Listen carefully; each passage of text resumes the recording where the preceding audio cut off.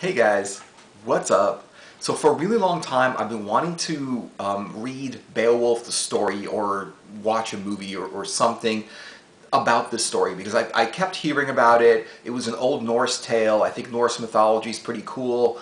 It was an old Viking story back I think like the early 15 like like 500 AD or something like that is when it was written um, and they're not really sure like who wrote it, uh, where was it the Vikings, or was it people in England that wrote it? So, but it really does. It's about the Vikings, and it really does talk about a lot of the things, you know, the morals and the things that the Vikings kind of held dear, their their views, their morals, their ideas, and stuff like that. You know, are all encased in this story. And so years ago, I bought this book and it's a really thin little pamphlet book, right? And um, so I'm, I'm trying to read it, right? And I was, I was like, oh, I'm going to read the story of Beowulf. It's not a long story. I, I can read this. It's pretty fast, right? And I'm reading it, and it's written in Old English. like, it's not written in modern English, and it's really, really hard to understand. It's really hard to read. You could, because it's like Old English is like, you get the gist of it, but it's not written in the modern language. And so uh, in 2007 or something like that, I think it was 2007, whatever the date it was, um, was a film called Beowulf. And this is an animated feature. And they put it on Netflix now, so I checked it out on Netflix because it was there. And I was like, oh, I never heard of this, this film, let me check it out. It's Beowulf, but it's in an animated feature. Animated features are great, and this one had, was computer-generated animation. And it's really interesting. I read a little bit about it on, on Google, and it was like um, uh, co-written by Neil Gaiman. Neil Gaiman was the guy that wrote um, the Sandman series, the Sandman series on um, uh, the comic book. You know, it was a huge, huge, long-running series, and it's one of the best comic book series of all time. It's really, really, it's also one of my favorite. I think I read, I read almost up to the end of it. Toward the end, it wasn't that great anymore, but the whole series was great. You know, there's like, there's about 10 different trade paperbacks. So I, I really do recommend checking it out if you like comics and you like Neil Gaiman, or even if you've never heard of Neil Gaiman, if you like comics, check out Sandman by Neil Gaiman. So Neil Gaiman partly co-wrote this story. Now, the thing is, it's like he didn't actually co-write it. Uh, it was actually written already for a really, really long period of time. But I think he wrote, he just turned it into a movie, and he wrote the movie. And the movie was actually pretty accurate. It was a pretty accurate story. They didn't change a lot of stuff around to make it more cinematic or whatever. They told the story pretty much as the story was told um, in the old Norse language and the old Norse, you know, folklore and traditions. It, pretty much told it accurately.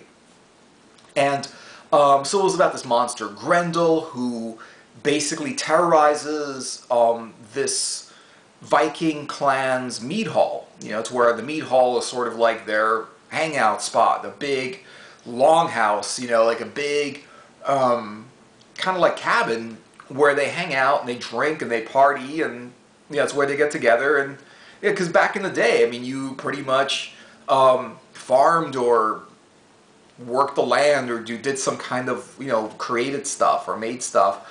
And then at night, you know, when it was like you couldn't really work because the sun wasn't out anymore and you couldn't really see that much because all you had was like fire and candles, you know, was this mead hall. And they would just hang out and drink at night and party. Basically, like every night they would party, which sounds pretty amazing to me, but, you know, that, that that's the Vikings. Well, the thing about the Vikings is they didn't just like work the land and stuff like that. They also raided other, you know, other uh, clans or other tribes or whatever, whatever they were, or civilizations. They kind of raided other other civilizations and stuff like that. But that's not what the story was about. The story was not about them raiding other civilizations. It was about this monster who was like raided them, killed their people.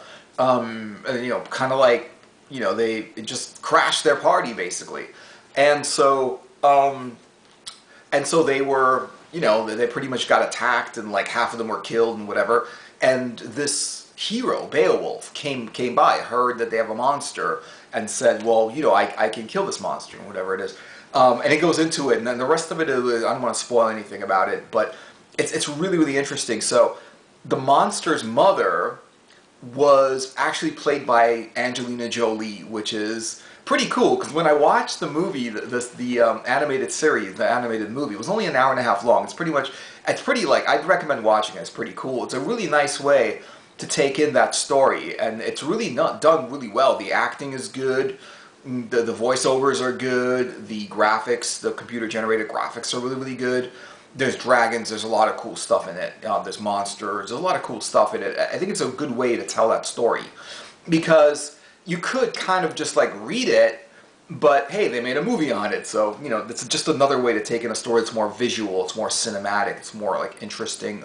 Whereas maybe like the story written will give you more facts and more, you know, it, but it, it, it might speak to your imagination directly, but you know, like a movie is just visual. It's a it's a whole thing. Someone had to like do the artwork and all that stuff. So it's just a very very well done movie.